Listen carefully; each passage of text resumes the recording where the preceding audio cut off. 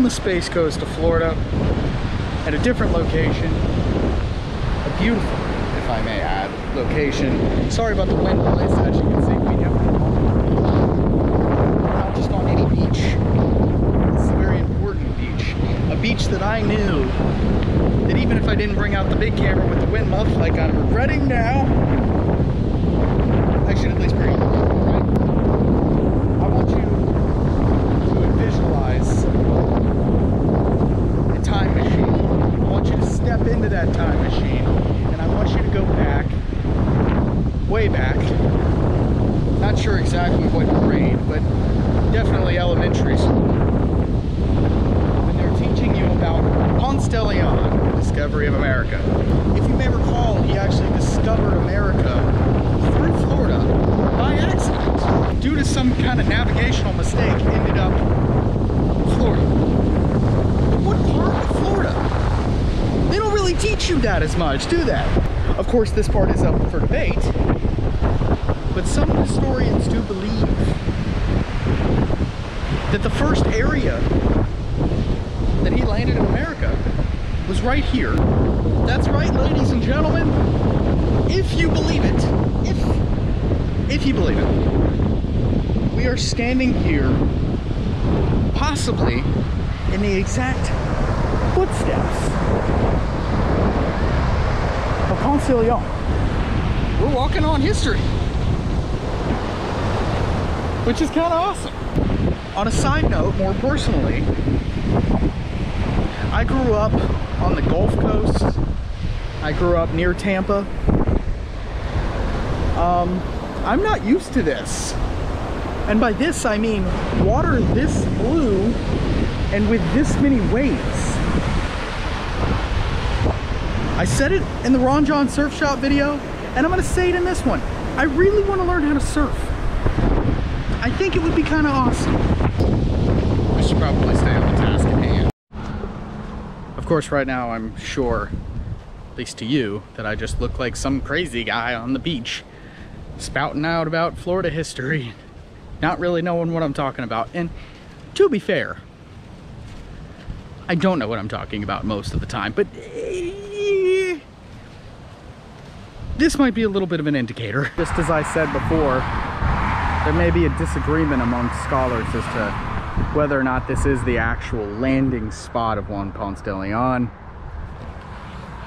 But enough agree that they were able to make this park dedicated to him in 2005. This here statue of Ponce de Leon was built here in this park to commemorate the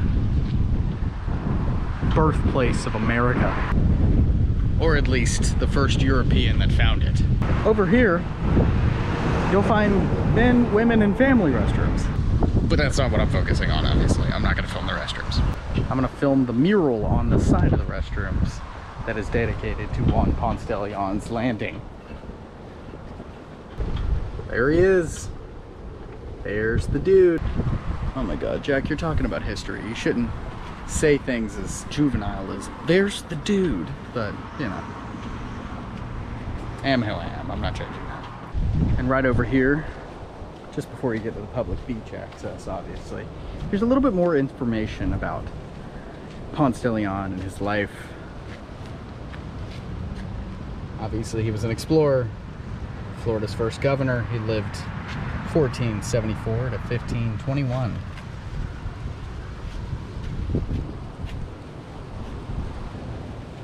Over on this one, they give you the information to track uh, his actual voyage.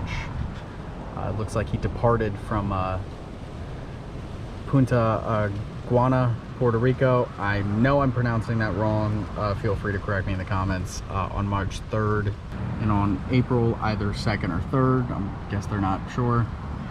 Uh, he actually did anchor uh, 28 degrees latitude south of Cape Canaveral, this exact spot.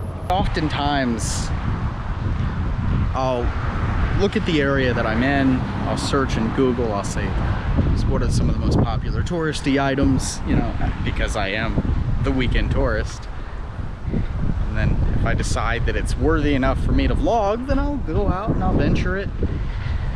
I wasn't exactly sure what I was going to film today, but I'm sure I'm glad that I came out because the footsteps, or at least even the possible footsteps, of where Juan, Ponce de Leon discovered America by accident just seemed too cool and too important not to document. Absolutely crazy just to think that all that history, all that incredible history now just public beach, beach access. Amazing, incredible, relaxing public beach access. And actually, you don't mind, I think I'm gonna hop in the water now, so subscribe down below for weekly adventures. Ring that little bell icon for notifications on every single gosh darn episode. And see you guys next time.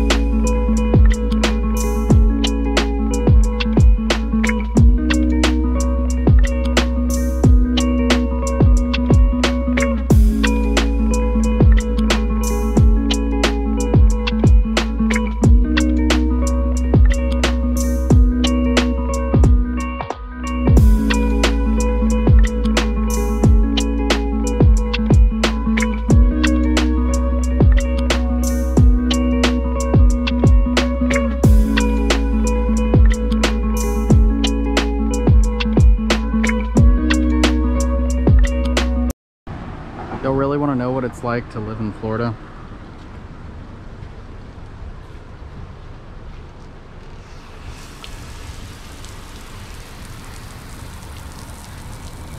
You better wash them sandy shoes off before you get my car, boy.